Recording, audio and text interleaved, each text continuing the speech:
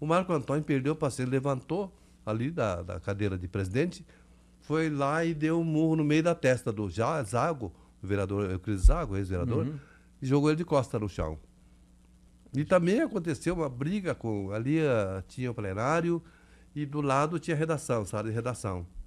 Então, o que aconteceu? Nós estávamos em plena sessão, de repente, aquela barulheira do, da sala do lado, todo mundo correu, dali a pouco aparece o Anésio Carreira. Anésio, Anésio, não sei se ele está bem, faz tempo que não vejo ele. Tá Anésio com aquele paletó branco dele, cheio de sangue, sabe? correndo sangue. Vai ver, a gente pensou que o, o Grilo tinha dado um. brigou com o Grilo, Miguel hum. Grilo, tinha dado uma surra nele, não, ele só deu uns empurrãozinhos, ele o, o Ares bateu na parede e tinha um quadro que caiu em cima da testa dele aqui. Ah, tá. Aí fez um corte, aí aquele um monte de sangue. Mas olha, a coisa era brava naquele tempo lá.